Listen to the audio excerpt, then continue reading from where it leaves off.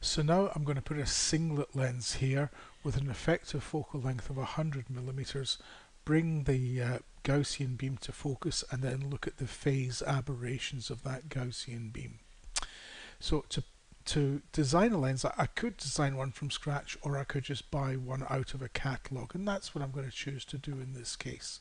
So I'm going to go to Libraries, Lens Catalog and I've set myself up a search to look through the Edmund Optics catalog for I'm looking for 100 millimeters effective focal length so I've given myself a little bit of range on there.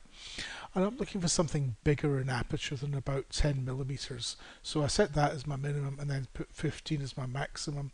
And I want singlet lenses. I don't want any gradient index aspheres toroids or meniscus and so that gives me this number of uh, lenses here. You can see I've got a, a fairly wide choice of uh, lenses. And I'm going to go for this uh, fellow here. 12 millimeters uh, uh, entrance pupil diameter plano spherical lens.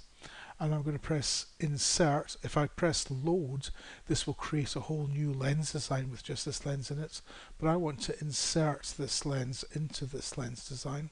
So I'm going to say insert and I'm going to insert it at the surface where the lens goes here and I don't need the object surface of the lens that I'm inserting so I just press OK and then close and that gives me my lens. So now I just need to tidy up the editor a little bit.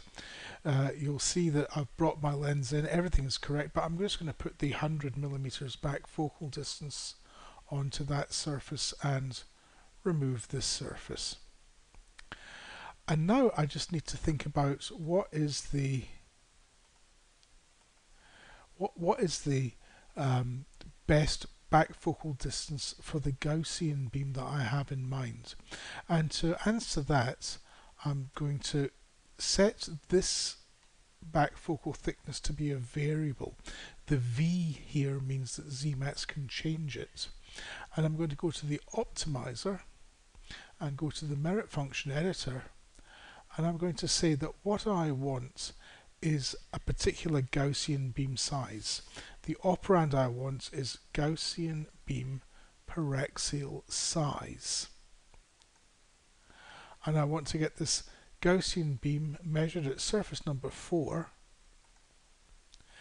I know from the manufacturer's datasheet that the beam waist is 1.15 millimeters and that that occurs at a distance of 2.8 meters or 2800 millimeters away from the output port of the laser because it's a Fabry-Perot Etalon style uh, laser. I want to target this to be as small as possible and I'll give that a weight of 1. If I update the merit function you'll see that the Gaussian beam size is 19 microns and if I optimize start very very fast you'll see now I've got a 16 micron uh, spot size at a distance of 99.224 instead of 100 millimeters. Now that's uh, fine that that is the best paraxial beam size but what do the aberrations of this lens do to that Gaussian beam? Well to see that we need to go to analyze and physical optics and then I'm going to set this up as follows. I'll just turn I'll leave auto apply on for right now. I'm going to set it to go to beam number uh, 4 or surface number 4 and I know that relative to surface number 1 the beam waist is 2.8 meters away.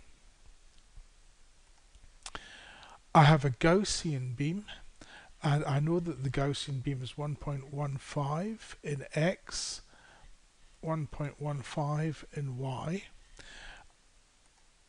and I'm going to use a reasonable sampling. And if I just check this automatic button, it will set the size of this beam to be what I want. And I'll just say, OK, thank you very much. So here's my Gaussian beam. It looks good, but how do I know how good it really is? Well, it's more useful to look at phase than irradiance when you're looking at the aberrations of a Gaussian beam.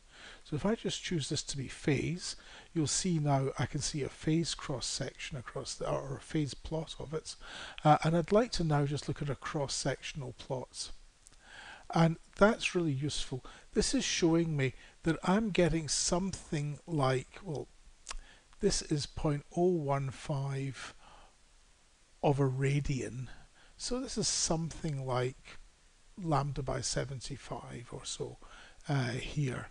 So this is telling me what the aberration of that beam looks like and you can see that it has the Gauss shift up here a basic focus type of shape and then spherical aberrations bring the phase back up to zero uh, here. So that's how good my lens is. Just remember that this is about 0.01 of a radian right here.